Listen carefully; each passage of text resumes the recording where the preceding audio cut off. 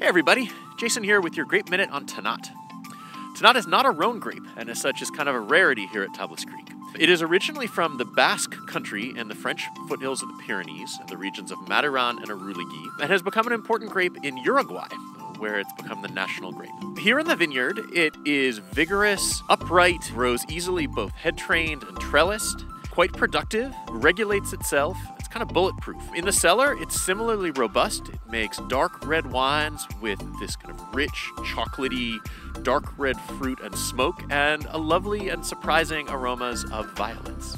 We use it on its own mostly, but we also use it in small amounts in our En Gobelet, where it provides tannic backbone and a nice counterpoint to the lushness of Mourvèdre and Grenache. Tannat makes famously long-lived wines. Its richness and tannic depth give those wines decades in the cellar.